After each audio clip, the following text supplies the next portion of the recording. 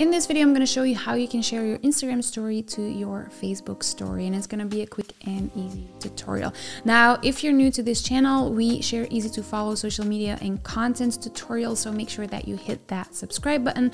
And then without further ado, let's get to it.